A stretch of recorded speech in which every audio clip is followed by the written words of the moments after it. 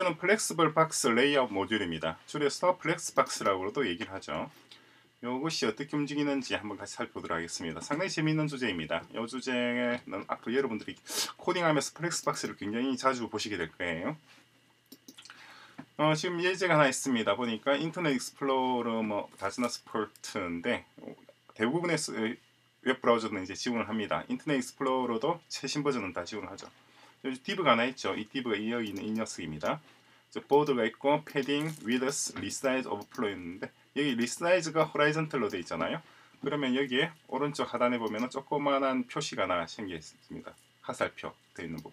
여기를 찍고 여기를 눌러서 이렇게 당길 수가 있습니다. 이게 resize입니다. 그리고 overflow는 auto니까 자동으로 이렇게 글자가 이렇게 변하고 있죠. 배열, 배치가 변하고 있죠. 요게 이제 flexbox의 가장 기본적인 메커니즘이 됩니다. 어, 그러니까 여기서 flexbox라고 하는 게 만들어지죠. 이번에는 어떻게 되어 있느냐니까 이번에는 flex container라고 해서 하나 div class를 지정을 해주었습니다. 이전에는 그냥 div였죠. element를 불렀는데 이번에 class를 하나 지정했어. 이 class에다가 display를 flex로 지정을 하는 거예요. 이렇게 하면은 flexbox가 만들어집니다. 그래서 어, 이게 이제 얘가 컨테이너가 되고 그 안에 있는 flexbox에다가 이 표시, 부등호 표시는 direct child, child를 말하는 거죠. 그죠? child 되는 div들에게 이렇게 해라. 그래서 이 박스가 하나 만들어지고 그리고 여기에 있는 1, 2, 3 div가 이렇게 표시가 된 겁니다. 그죠? 그런데 이전에 있던 것과 차이점은 뭐냐니까 얘는 여기를 끌어서 이렇게 왔다 갔다 했었잖아요. 그런데 이거 화면 자체의 변화에는 얘가 무관합니다.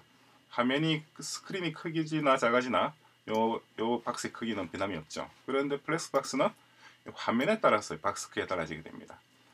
보시다시피 안에 있는 1, 2, 3은 그대로고 여기 둘러싸고 있는 이 박스 어, 요걸 이렇게 놓으니까 잘 안 보일 수도 있겠군요. 꺼내 놓겠습니다. 이 박스가 이렇게 움직이는 걸 보이시죠? 그렇죠? 파란색 박스를 말하는 겁니다. dodger blue. 그렇죠? 그리고 이렇게 수평이 아니라 수직으로 또 할 수 있습니다. 그럴 때는 플렉스 디렉셔널 칼럼으로 쓰면 되죠. 그래서 수직으로 배열되고 그리고 어, 이번에는 reverse입니다. reverse를 주니까 이렇게 순서가 거꾸로 진행이 되고 이번에는 direction을 row로 줬습니다. 칼럼이 아니라 그러니까 이렇게 만들어져 있죠. 그래서 이렇게 움직이면은 재밌는 것은 flex direction을 row로 주고 나면은 이렇게 어, 안에 있는 것까지 같이 박스가 resize가 됩니다. 이전에는 어떻게 됐나요? 이전에는 어, 뭐 row 아니라 하더라도 이런 경우를 보더라도 어, 기본적으로 이런 경우 resize가 되지 않죠. 안에 있는 박스는 안에 있는 박스 1, 2, 3은 그대로인데 밖에 외부에 있는 dodger blue container만 resize가 됐었잖아요. 그런데 이렇게 row 옵션, direction row 옵션을 주고 난 뒤에는 안에 있는 것도 같이 이렇게 움직이게 됩니다. 그죠? 어, 나머지는 똑같습니다. 컨테이너 디오 background width margin text align line height font size 똑같이 구성되어 있죠. 이전에도 보면은 어디 있나요? 여기 있어 보면은 여기 있어 보면은 똑같이 background width margin text align line height font size 같이 되어 있습니다. 근데 이 녀석은 보셨다시피 이렇게 안에 있는 것이 resize가 되고 그리고 여기는 안에 있는 것이 resize가 안 됩니다. 밀려 나가 버리죠. 그것이 차이점. 그리고 어, wrap도 있습니다. 랩 같은 경우 이제 흘러내리는 거예요. 이게 wrap입니다. 어, 흘러내리는 거. 그죠?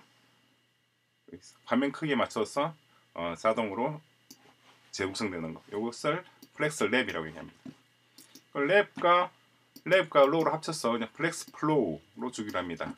그렇게 되면 이렇게 됩니다. 이렇게 차이점을 보시면은 지금 얘하고 얘하고 얘하고 차이점이 조금 조금 있죠. 뭐 큰 차이는 없습니다만은 조금 차이점이 있습니다. 그리고 얘는 음 이제 노랩입니다. 노랩이니까 흘러내리지 않는 거예요. 그죠? 화면 크기에 따라서 그냥 자기 있는 자리에서 그냥 그대로 줄어들기만 하지 흘러내리지는 않습니다. 이게 노랩. 그죠?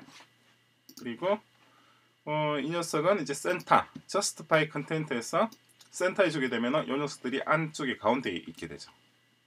자, 이렇게 딱 정중앙에 위치하는 겁니다.